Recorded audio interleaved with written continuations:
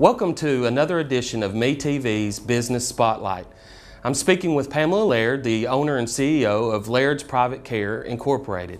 Miss Pamela, what if we have a family member, obviously, that is needing your services, and they, the family is just feeling a bit overwhelmed about how they go about the process? What exactly is the process? Well, first they need to call Laird's Private Care 501-908-9435 or reach out to our website at www.lairdsprivatecare.com.